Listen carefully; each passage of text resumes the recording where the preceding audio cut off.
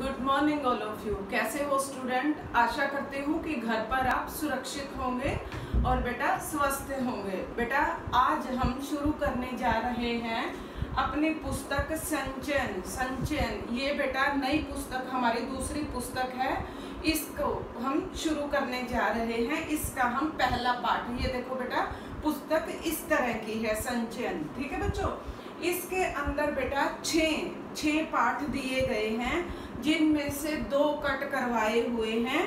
कुल्लू कुम्हार की उना कोटी एक ये नहीं आएगा एक मेरा छोटा सा पुस्तकालय एक न, ये वाला भी नहीं आएगा दो पाठ ये नहीं आएँगे और बाकी चारों के चारों पाठ आपके आएँगे। इस पुस्तक में बेटा सिर्फ़ छः ही है छः पाठ ही हैं और बेटा दो इसके कट हैं। ठीक है बेटा? हाँ जी और इस पुस्तक को बेटा जो आप, जो आपने ग्रामर की कॉपी अलग लगाई है या इसकी कॉपी आपने अलग लगाई है? इसकी कॉपी एक पतली सी ही कॉपी आप लगा लेना, जिसके अंदर इससे संबंधित क्वेश्चन आंसर आपको लिखने होंगे। ठीक है बच्चों? चलो शुरू करते हैं हम। आज का आज का हमारा पाठ है गिल्लू।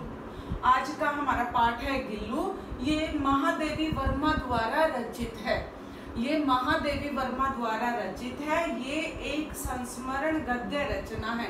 संस्मरण का अर्थ जानो अब। संस्मरण का अर्थ होता है कि किसी घटना को बार बार याद करना। यानी कि बेटा, घटनाओं का उल्लेख और महत्वपूर्ण जानकारी जब लेखक या लेखिका द्वारा लिखी जाती है या दी जाती है तो वो संस्मरण कहलाता है। गद्य गद्य का मतलब यानी कि रचना गद्य रचना का मतलब होता है, बेटा गद्य भाग, जिसके अंदर आपके लेख, कहानी और बेटा, निबंध, संस्मरण, ये चीज़ें आ जाती हैं। और काव्य खंड के अंतर्गत हमेशा कविताएँ और बेटा, पद, दोहे, रचना, इस प्रकार की चीज़ें आती हैं। ठीक है बच्चों, आओ शुरू करते हैं हम। पाठ एक गिल्लू जो महादेवी वर्मा द्वारा रचित है। हाँ जी, बेटा, मैं इस पाठ के बारे में थोड़ी सी आपको भूमिका बतलाती हूँ। देखो बेटा, महादेवी वर्मा द्वारा रचित मेरा परिवार में से चयनित, यानी कि चयन की गई गिल्लू एक संस्मरण गद्य रचना है। बेटा, इस रचना के माध्यम से लेखिका पशु पक्षियों की स्वतंत्रता, उनके प्रति प्रेम, उनके प्रति संरक्षण की भावना रखती है।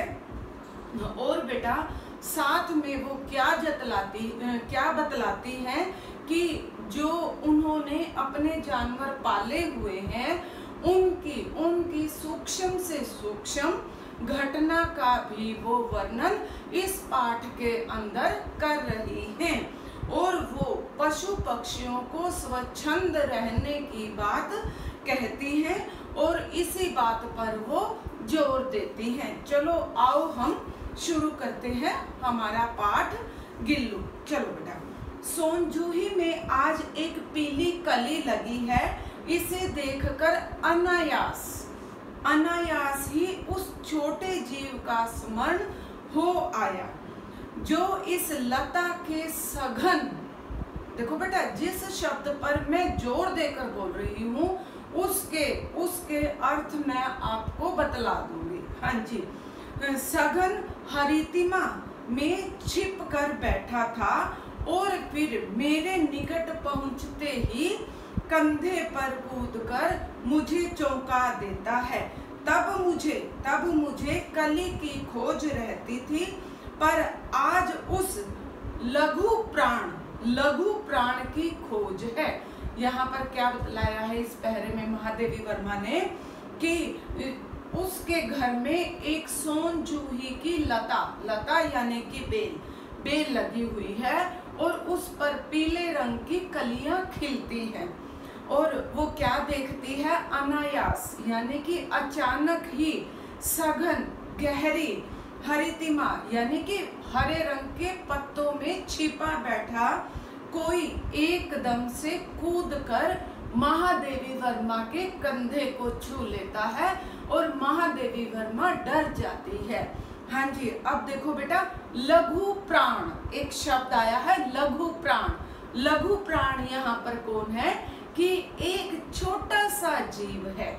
हाँ जी, अब देखिए छोटा सा जीव कौन है? अब आपको, आपके मन में ये जानने की इच्छा हो रही होगी, छोटा जीव वो कौन है? चाहूँ तो मैं अभी आपको बता सकती हूँ, लेकिन नहीं, अभी कहानी में सस्पेंस है। परंतु वह तो अब अब तक इस सोन जूही की जड़ में मिट्टी मिट्टी होकर मिल गया होगा। कौन जाने स्वर्णिम? कली के बहाने वही मुझे चौकाने ऊपर आ गया हो। अब वो महादेवी वर्मा क्या कहती हैं कि अभी तक तो वो सोन जूही की जड़ में मिट्टी हो गया होगा, यानी कि मिट्टी में मिल गया होगा। उसकी मृत्यु हो चुकी है और वो मिट्टी में मिल गया होगा और वो न जाने किस कली का रूप लेकर न जाने वो किस कली का रूप लेकर मेरे पास आएगा या मुझे वो चौंका देगा। हाँ जी।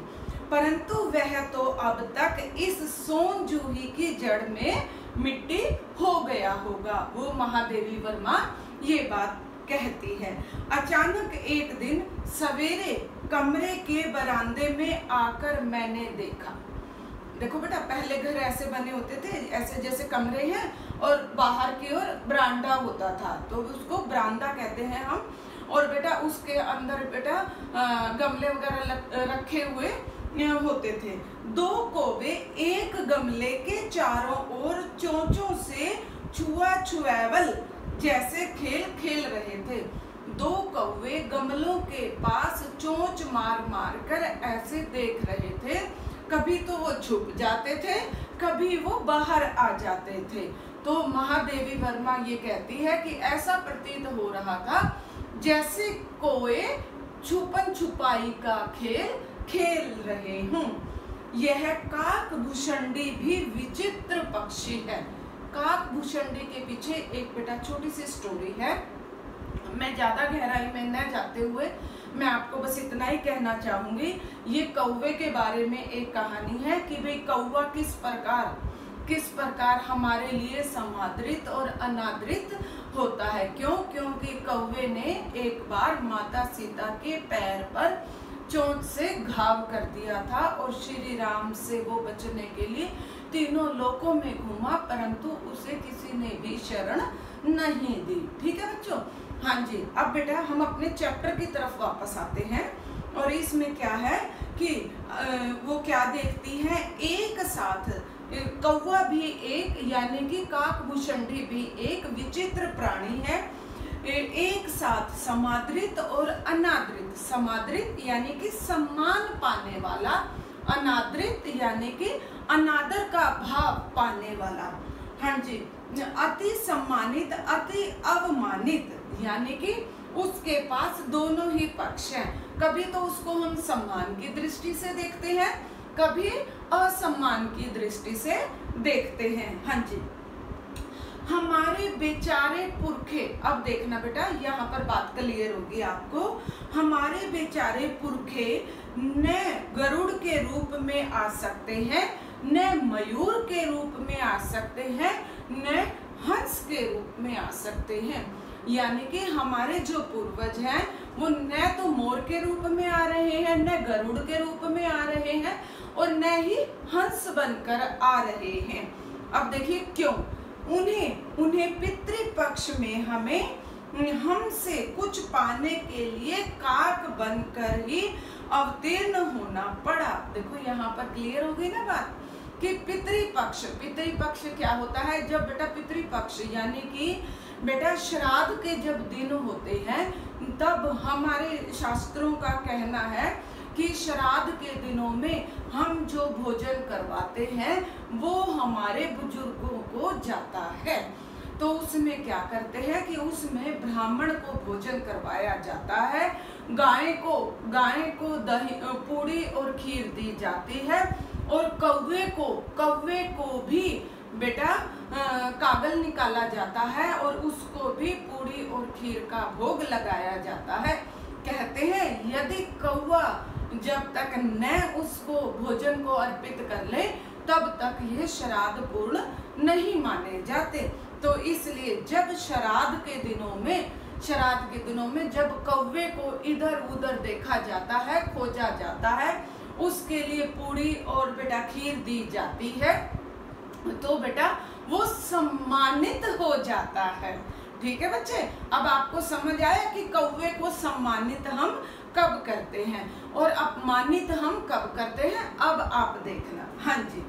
अब देखो, इतना ही नहीं, हमारे दूरस्थ प्रियजनों को भी अपने आने का मधु संदेश इसके कर्कश स्वर में ही देना पड़ता है। दूसरी ओर हम कोवा और काव काव करने को अवमानना के अर्थ में ही प्रयुक्त करते हैं।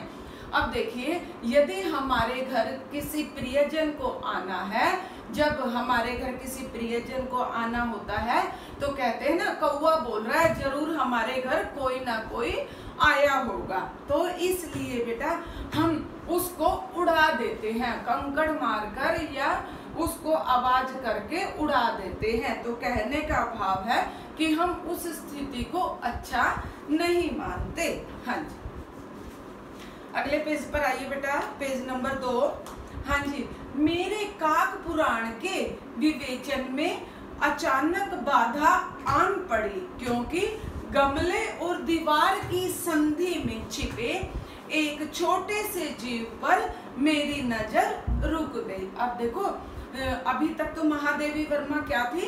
कौए की स्टोरी बता रही थी, उसको सम्मानित क्यों करते हैं और अपमानित क्यों करते हैं? तो बेटा, ये दोनों स्थितियाँ आपको क्लियर हो गई है। अब जब महादेवी वर्मा ने देखा कि दो कौए छुपन छुपाई जैसा खेल खेल रहे हैं तो वो क्या करती हैं? अब वो बाहर आती हैं और अब देखना उनको क्या चीज़ मिलती है। हाँ जी, क्योंकि गमले और दीवार की संधि में छिपे एक छोटे से जीव पर मेरी दृष्टि रुक गई।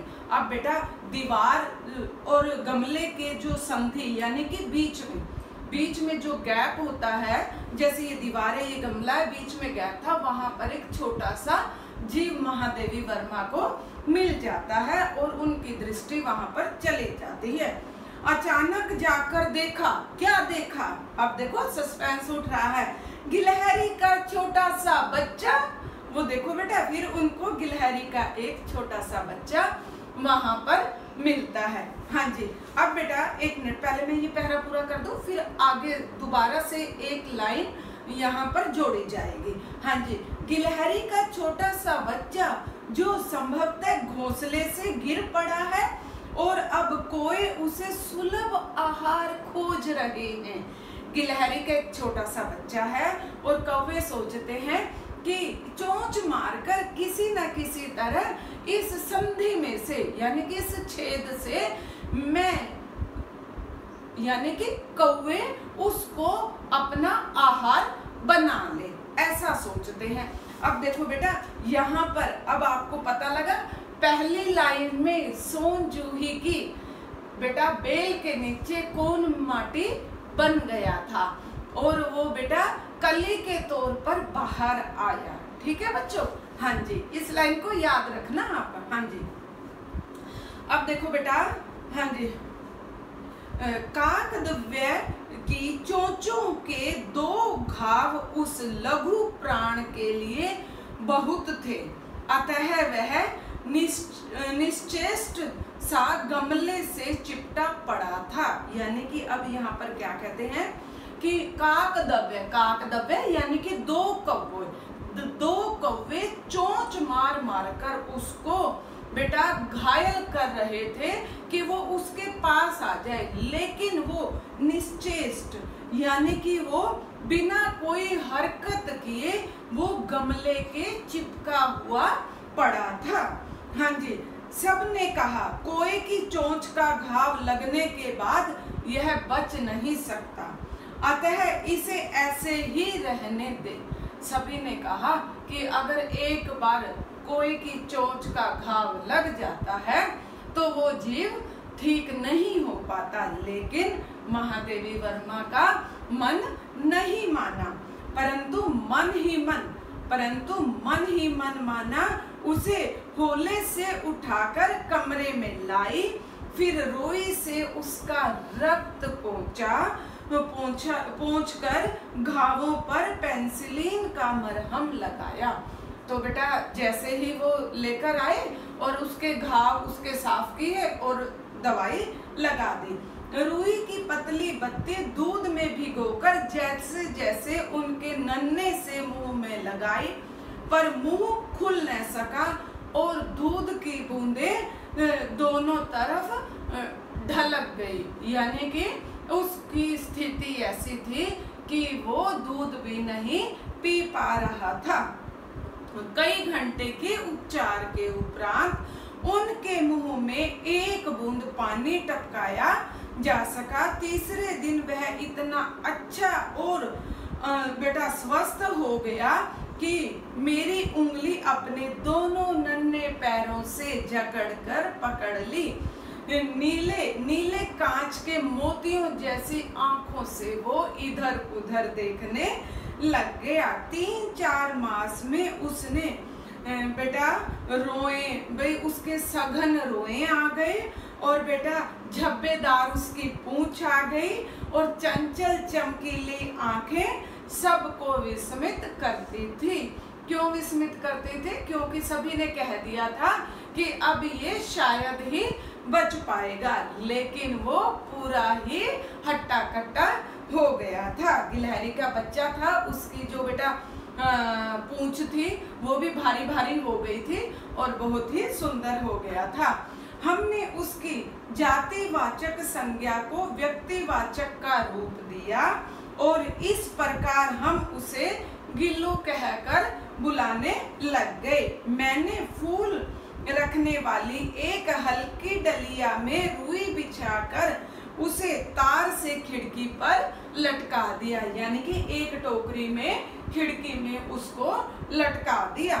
हाँ जी, वही दो वर्ष, वही दो वर्ष गिल्लू का घर रहा। यानी कि गिल्लू दो साल तक जीवित रहा।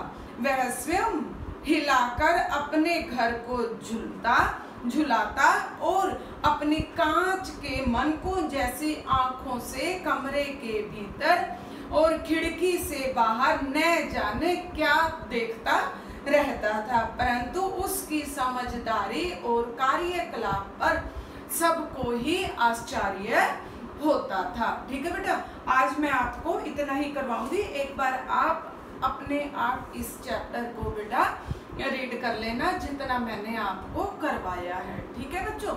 और बेटा साथ के साथ रीड करोगे तो आपको बेटा याद होता जाएगा। हाँ जी, अब बेटे, आप नौवीं कक्षा में हो। और बेटा सातवीं कक्षा में आपका एक चैप्टर था बेटा, जिसमें बेटा मोर मोरनी की कहानी थी। उसके अंदर तरह तरह के जीव जंतु दिखाए हुए थे। बेटा मोर मोरनी दिखाई हुई थी, कुब्जा दिखाई हुई थी, एक एलिशेशन डॉग दिखाया हुआ था, खरगोश दिखाया हुआ था। तो बेटा महादेवी वर्मा को बेटा जीव जंतु पालने का बहुत अधिक शौक था। तो इस वजह से बेटा उनके मन को बेटा बहुत ही खुशी होती थी। तो बेटा सेवंथ में भी आपने एक चैप्टर पढ़ा, इसी तरह का इसी तरह का बेटा अब ये नौवीं कक्षा में एक चैप्टर आया है। ये है संस्मरण और बेटा इसमें बहुत ही सुंदर सुंदर, प्यारी प्यारी घटनाएँ घटी हैं। बेटा जानवरों के साथ बेटा और बेटा उसका वर्णन आपको बखूबी इस पाठ में करवाया जाएगा। और बेटा जब मैं आपको ये पाठ करवाती हूँ तो ऐसा प्रतीत होता है जैसे कि सामने ही कोई चलचित्र चल रहा है। चलचित्र चल रहा है, यानी कि कोई एक फ़िल्म चल रही है और उसको आप इमेजिन करते जाओ तो बेटा पाठ बहुत जल्दी आपको याद हो जाएगा। ठीक है बच्चों? हाँ जी, और बेटा घर पर रहो, सुरक्षित रहो बेटा, और बेटा स्वस्थ रहो माता पिता की आपसली पूंजी। धन्यवाद बेटा गॉड ब्लेस यू आयुष्मान।